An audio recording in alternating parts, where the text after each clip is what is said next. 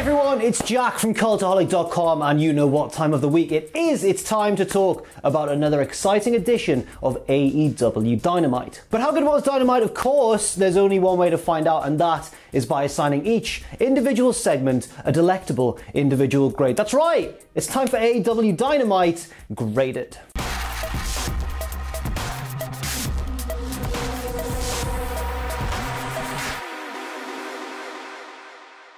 First up, we get six man tag team action with Matt Hardy and Private Party taking on Hangman Page and John Silver and Alex Reynolds of the Dark Order. Obviously, a bit of a reluctant pairing. Hangman's not too certain about what the Dark Order's motivations are, but the Dark Order are doing their best to impress him because Silver and Reynolds come out with just adorable cowboy outfits. It's really nice to see. And to be fair to them, they show good teamwork early on with some nice little nifty maneuvers, quick tags, little double and triple team moves, and uh, Silver and Reynolds are buzzing. Silver jumps on Hangman's back and rides him like a little horsey. Um, Hangman looks secretly a little bit happy as well, to be fair. More than he ever did with Omega. The heels fight back, and yes, I'm calling them the heels even though they're baby faces, because how can you root against Hangman Page and those two from the Dark Order? They're just too adorable. Uh, Matt Hardy goes for the twist of fate, but Hangman pushes him off and gets a near fall with a big lariat. Non buckshot variation, though. There's more great teamwork from Hangman and the Dark Order, but Matt Hardy pulls Reynolds out of the ring on the count of two at one point, saving the day for his team. John Silver goes out to get him, but as he's leaning through the ropes, Matt Hardy grabs him and nails like a draping twist of fate from inside the ring to out, which looks really brutal actually. Reynolds gets back in the ring, a private party catch him with the gin and juice, and just when it looks like they've got the match won, Matt blind tags himself in and steals the pinfall for himself. Hmm. This gets a B plus grade, fun opener to the show and as well interesting developments on both sides. Hangman sort of enjoying tagging with Silver and Reynolds, and on the other side, Matt Hardy not being the best of mentors to Private Party. Backstage now with my boy, Alex Marvez. Uh, he's with the Inner Circle. He's talking to MJF because MJF has made the New York Times list of the best performances of 2020 for his role in the Dinner Debonair. Jericho, nowhere to be seen in the nominations. That writes itself, doesn't it? That's almost too perfect for AEW. It fits right into the storyline. I'm thinking, did Tony Khan pay off the New York Times here? MJF is his obnoxious, cocky self. He says, look, I know what people are saying out there on the, on the old social media. I know they're saying that I'm a better performer than Chris Jericho, and I think that there's no need to say that, right? Stop it. But obviously, MJF, in bringing up that he disagrees, is mentioning it on TV. So it, it perfectly fits in with his character. Jericho does not look impressed. MJF turns to him and says, You know what, Chris, when I look at you, I don't see a, a substandard performer compared to myself. I see my mentor and my best friend. And Jericho's like, Great, thanks, yeah. Before the next match, which is Cody versus Angelico, we get a video package from the Rhodes household. They're at home decorating the Christmas tree in formal wear, as you do. And then they get a knock on the door. They go to answer it, there's a, there's a little gift package outside, and they open it, and there's a little pair of tiny baby shoes and a note saying that basically they're expecting a child, which is lovely news. Congratulations to the Rhodeses. And Pharaoh as well, the dog, has a neckerchief which reads, uh, Baby security in training. Just adorable. And now back to the arena for Cody's match. He makes his entrance with Arn, and Brandi's there as well. They have a nice hug. It's a very genuine, sweet moment. But he's taking on Angelico, and just imagine if after all that Angelico actually won. This match has quite uh, an old school start. There's a lot of gripply grappling, a lot of graps, uh, and both guys are really good at it. We know about Cody's amateur background. Whenever they take it to the mat, he's obviously doing really well. But Angelico is more than holding his own, a very skilled grappler in his own right, evidently. We take things even more old school with a bloody crisscross which is fantastic. It's like WrestleMania 1. I don't know where that spot came from or whether it was a reference privately between them to something else, but you've got to love to see a crisscross in 2020. Cody starts to take control, so Jack Evans hops up on the apron to try and cause a distraction, but Arn Anderson yanks him all the way back down to the outside and shoves him to the floor, and Jack Evans bumps for him like HBK bumped for Hogan at SummerSlam. It's really, really funny, but you know, Jack, you've got to respect your elders. Come on, take that bump like a man and then sell it like you've just been battered. Like, don't flip around. Come on. Cody goes for the drop down uppercut, but Angelico blocks it and transitions into some kind of crazy submission that I'm not quite certain if I've seen before. It's a bit Zack Sabre Jr. esque. All of Cody's limbs are tied up, so he has to inch his way over and break the count or break the hold by grabbing the bottom rope with his teeth. Such desire. Hello, my friend, we meet our girl. A little bit later, Cody goes for the crossroads, but Angelico slips out and goes for a crossroads of his own. Cody manages to roll out of that, heads up top, bounce, bounce, boing, massive Cody cutter out of the corner, and Angelico sells it like prime RVD right on his head. It looks amazing, and fittingly, it's the finish of the match. Cody wins. But before Cody's celebration can go on for too long, he is interrupted by Team Taz, who all come out on the stage. Ricky Starks says, Yeah, congratulations, Cody, you're about to be a father. But where was our congratulations last week, myself and Brian Cage, when we made you and Turtle Boy our sons? Turtle Boy's Darby Allin. He likes turtles. If you know, you know. Taz gets the mic and says, Darby, Cage is going to whoop your ass because they've got a title match for the TNT Championship coming up soon. Darby is up in the rafters watching and just smiles. He's got a plan against Cage, he does. Taz says, but right now, Cody, we're focusing on you. We're coming to that ring, and after we're done with you, you're going to be on real paternity leave. And they all head down to the ring. The lights go out. It's Sting!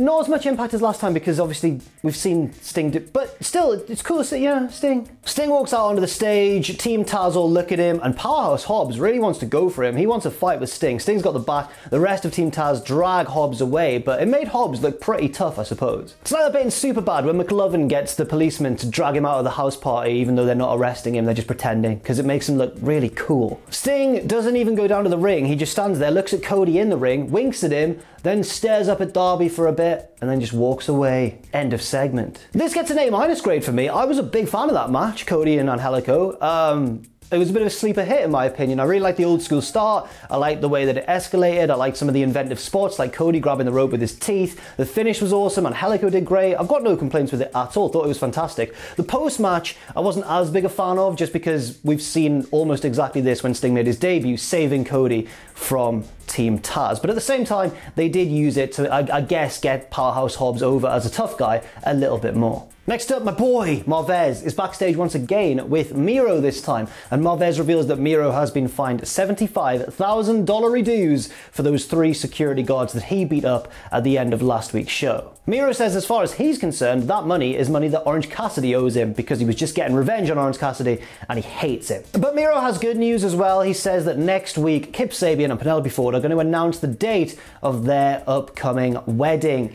Very exciting stuff. Uh, but then, you know, Marvez goes, Miro, let's get away from that. What about those three men you put in hospital? It's nearly Christmas. And Miro goes, bah humbug. He doesn't like Christmas because his birthday is Christmas Day. And a quick check on the old Wikipedia confirms that to be true. Next up, Eddie Kingston comes out rocking a New York Yankees cap and a Tupac t shirt. What a contradiction. And yes, I know that Tupac was actually born in New York, but we all know that he's West Side for life. Bad boy killers. First off, F your clique and the clique you claim. West Side till we die. Kingston gets on the mic and says he's going to address his three enemies. First of all, the man upstairs, and he goes, I'm still alive, brother. Then his second enemy, Pac, uh, which I saw Matthew on Twitter saying counts as the first one because Pac is God, so it's a bit of a contradiction. But Kingston says Pac's done. He's not coming back after the beating that we gave him. His career is over. And then his third enemy, Lance Archer. But before he can say anything, Archer's music hits and he's barreling down to the ring. Unfortunately, he gets to the ring before the everybody dies and it's now or never. Like the, the song's miles away from that point. I'd like Archer to take his time a little bit more, please, in future. But Archer was trying to get the jump on Kingston so I guess that that justifies it. He starts beating Eddie down, but the Butcher and the Blade come in from behind and they turn the tide against the big man. The Lucha Bros slide in to help even the odds, and then here comes Pac to tilt the brawl in the babyface's favour. He's not done at all. His career's not over. Eddie was being a little silly liar. What a cheeky man. Uh, the brawl kicks off. Everything's sort of flying all over the place. The Lucha Bros take care of the Butcher and the Blade, and then Pac and Lance Archer kind of let Kingston get away because they both want a piece of him and they're kind of getting in each other's way. So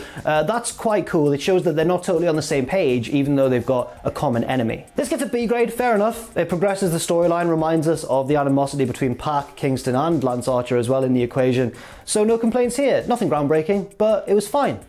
Grab your Glocks when you see Tupac. Call the cops when you see Tupac. Who shot me, but you punks didn't finish. Now. We go backstage now for a tiny little backstage interview with Dustin Rhodes because, of course, the Dark Order offered him a spot in their stable last week, saying he could be number seven. Dustin says seven was a terrible idea years ago in WCW, which it was, and says that it's still a terrible idea today. He's never going to join, and he disputes this claim by the Dark Order that he is the third most important Rhodes, and he calls out Evil Uno for next week's show. Next up, big 12 man tag team action as all of the inner circle minus Wardlow take on the team of Top Flight, Best Friends, and the Varsity Blondes. Great tag team names still. We get various interesting little combinations of little one on one mini matches in the opening stages between the two teams. The most interesting, I think, is Sammy Guevara and I think it was Dante Martin of Top Flight. Uh, they've got great chemistry, they're both so quick as well, they're running all over the place, going back and forth until Sammy gets the advantage by just rocking back and just clocking Martin right in the jaw. It's a great punch, and it's sold really well too. A little bit later on, we get a big stare down between arch rivals, best friends, and the proud and powerful, and it escalates into a full blown brawl from all members of both teams. The faces clear the ring, they have a big six way hug. Orange Cassidy, by the way, I should mention at this point, is on guest commentary, but he doesn't say a word who was expecting him to. And the faces take control, but not for long, because soon after, Trent becomes the face in peril for a while, with various heels taking turns to beat him down. He finally gets the hot tag to Darius Martin, who goes for a dive, but Ortiz is outside the ring. He clocks him before he can get through the ropes. They celebrate, proud and powerful on the outside, but here comes Dante, huge tope over the top of his brother onto the heels below. Griff Garrison becomes the legal man next. Uh, he's running wild a little bit, clearing the ring slightly, but it's not good enough because Chris Jericho is on the outside with the baseball bat out of the view of the referee. Bam! Baseball bat shot right to the back, and Griff Garrison is there for the taking. Jake Hager gets in the ring and hits a modified version, shall we say, of Wardlow's F10. It's not pretty, but it's enough. Uh, Wardlow tags out to MJF, he gets in, he gets the pinfall, and that's the end of the match. The heels win. The fight continues after the bell, and it's Top Flight who get the better of it. They send Jericho and MJF packing, and it sets up a tag match for, I believe, next week between Top Flight and Jericho and MJF. That's confirmed later on in the night. Also, later on in a separate backstage interview, the best friends say that they're going to be there to see what Sabian and Ford and Miro have to say about their wedding announcement next week. Oh, they're going to crash it. They're going to do naughty things. This gets a B grade. It was fun. Fun match. Um, Again, nothing of real substance, I suppose, but it set up things for later on. That was very much the theme of a lot of this show, actually, setting up things for the holiday season. Next up, we go backstage where my boy, Marvez, he's really putting in a shift tonight. He's there with Thunder Rosa, and Thunder Rosa says she firmly believes that she belongs in AEW. She's wrestled all around the world, and she doesn't believe what Britt Baker says when she says that she doesn't belong. She thinks she does belong, and she thinks that Britt's wrong. She also says that Britt had to stick her big nose in Thunder Rosa's match with Serena Deeb. Now, that's a bit harsh, isn't it? Now, Reba, Rebel, comes along and agrees apparently because she gets in Thunder Rosa's face. She's like, do not ever disrespect Britt Baker. It's all a distraction because he here's Britt from behind, jumps Thunder Rosa, gets her down on the floor, and puts on the lockjaw. While Thunder Rosa's in the lockjaw, Rebel, Reba, pours water on her face to wash off some of the face paint, and then Britt says, Is that camera still working? Or has her ugly face broken it? Ugh. Now, I'm not sure how I really feel about physical insults being included in a feud like this.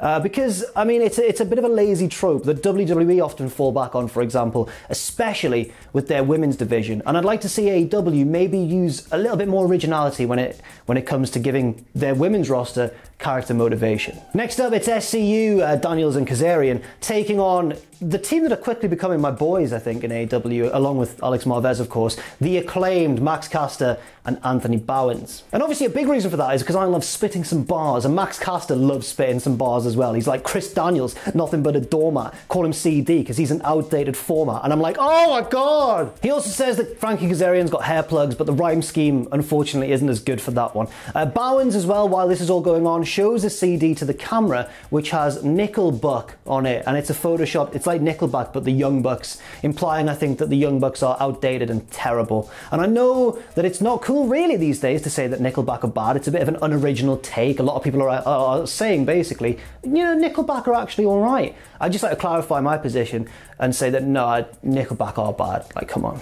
Although if I've had a few drinks, I will heartily sing along to the song Rockstar on any given night out. So that, I mean, you have to give them credit for that one. And you know what? Photograph's quite funny as well to shout along to. But Kazarian, surprisingly, spits some bars of his own. He's like, out here with your gold chain and your dissing. Are you the acclaimed or are you men on a mission? And I'm like, oh, Oh, here we go. We get to the match, and SCU, as the veterans, control a lot of the match. They're kind of making the acclaimed look a little bit outmatched here. They've won a lot of matches on Dark, obviously, but on Dynamite, against a team like SCU, maybe it's a bit of a different prospect. Uh, occasionally, the acclaimed will try and make a little bit of a comeback, but SCU will cut them off usually. And it's a bit of a weird format because often you see, I mean, usually you see this reversed with the heels beating down the faces and the face is trying to make the comeback. Daniels tries to roll up Bowens, but he pushes him off at the count of two and Daniels flies face first through the ropes and Caster's outside with the boombox and Daniels' head hits the boombox. He falls back into the ring and Bowens hits him with some kind of like twisting slam. It's pretty good and it's enough to put Daniels away too. Caster gets on the mic and challenges the Bucks who are in the crowd to a tag title match in the near future.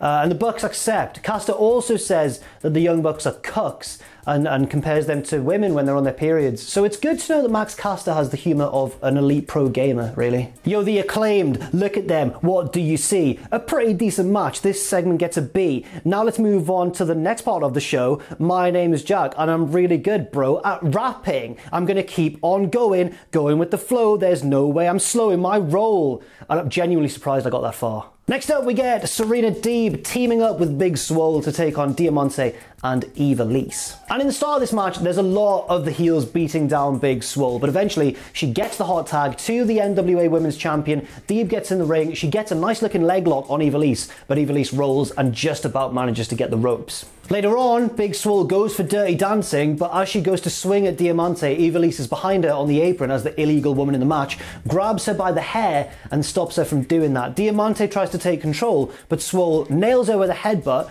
sort of a tiger driver and then locks her up in a clover leaf and it's looking bad for the heels. Ivelisse tries to get in the ring but Serena Deeb is on it. She is of course the NWA Women's Champion as I just mentioned. She runs across the ring, intercepts Ivelisse and holds her back and eventually Diamante has to tap out. But now here comes Nyla Rose and Vickie Guerrero and Nyla leads a 4 on 2, 3.5 on 2 because Vicky's trying, she's putting a few boots in, uh, beat down of the babyface team. But here comes Red Velvet with a steel chair to save the day, hits Nyla Rose in the back, and all the heels disperse. And I think that a, a vicious squashing could be in Red Velvet's future. This gets a B minus grade. It wasn't bad, I just didn't particularly enjoy it. But again, like many things on this show, I think this was more about building for the future rather than meant to be a, you know a quality match in itself. Just a tiny little segment now before the main event. We get a Jurassic Express video package, and then we get FTR interrupting this, or you know coming out after this, going to the announce table and complaining to the commentators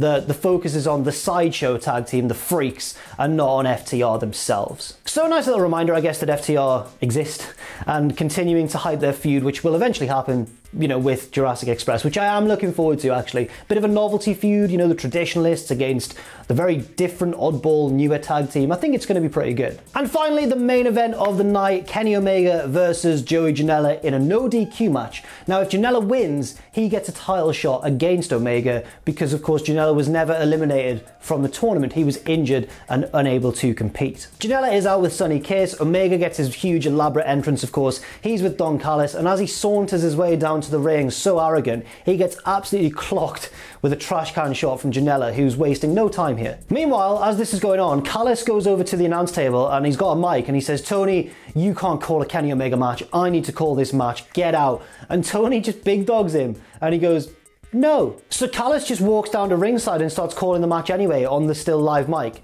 No idea why they would cut Taz's mic a few weeks ago, but not Don Callis is here when he is just so disrupting the main event match of the night. Doesn't really make sense in kayfabe, but you know, Callis is a good talker, so I'm not that mad about it. And Callis is commentating while Kenny's doing all kinds of spots like a Kotaro Krusher on a steel chair. He's going up top with the trash can and moonsaulting off and landing on Janela. It's all like hardcorey stuff, but with Kenny Omega's style infused slightly. Another big spot from Kenny who is just dominating Janela here, not even giving him anything really. He lays the trash can on him, heads up top, double foot stomp to the trash can on Janela. He gets Janela up for the one-winged angel, but at this point, Joey threatens to turn the tide of the match because he, like reverses it with a nice and quite nasty looking poison or like reverse Rana. Sonny Kiss sets up a table for Janela on the outside. They lay Omega on it. Janela heads up to the top and comes off with a leg drop and crushes Kenny and seems to land on his face as well, which is nasty. But thankfully, Omega looks to have escaped damage. Back in the ring, Janela goes up top, looks for a moonsault. Omega rolls out the way. V trigger, second V trigger, one winged angel. That's all she wrote. Don gets on the mic to close the show and says now that he's being Janela, there are no more unanswered questions for the champ. And he's interrupted by Pac and the Lucha Bros. Pac's got a mic of his own, and he says, No more unanswered questions, really, because my friend Rey Fenix was also never eliminated from the tournament. And that's why we want to see Phoenix versus Kenny Omega. And Callis says, Whoa, whoa, Pac, have you had like a promotion or something? Because wrestlers are not allowed to call out the champion. And Pac says, Way, Bonnie lad, I've just been talking to Tony Khan, which I bet was a really interesting conversation actually, with Tony just not having a clue what Pac was on about. But the match has been confirmed. Kenny Omega defending his belt against Fenix on December 30th. That should be a really good match. The pair of them have got a great chemistry, and Omega closes the show by selling this as if he's just found out that Cactus Jack is coming back and Mick Foley's brought back his evil persona. Because Kenny's like channeling Triple H in that segment. He's like, no, no, not Fenix. You've beaten him before. This final segment gets a B. I, I enjoyed the match. It, again, it was a bit style over substance, I suppose, with just big hardcore spot after big hardcore spot. Uh, but at the same time, it was entertaining, I guess. We had Callis on the mic. Even Kenny got involved on the mic a little while, calling his own match as he was doing it. It was unique and entertaining in its own little way. Uh, a B grade, I think, is fair, but I am very much looking forward to Omega versus Fenix in two weeks' time. Overall, this show gets a B grade from me. Maybe slightly below par for an episode of AEW Dynamite, maybe a little bit below their usual standards, but as I've mentioned, the next three shows are pretty big ones. Next week, it's obviously the, the post NBA edition where it's starting a bit later on in the night. And usually, after a big NBA game, they do try and, you know, make the show a big one to catch the attention of any potential new viewers who just haven't changed channel after the basketball's finished. Then, of course, the two holiday specials on the two subsequent weeks after that. So, this, this show I think was kind of sacrificed a little bit and just used to build up to those big three coming up. But what did you think though? Let me know in the comment section down below. And of course, thank you very much for watching this video. Um, stay safe out there, of course. Stay positive. I've been Jack from Cultaholic.com. I don't know if I mentioned that as well. And um, I'll see you very soon. Have a good one.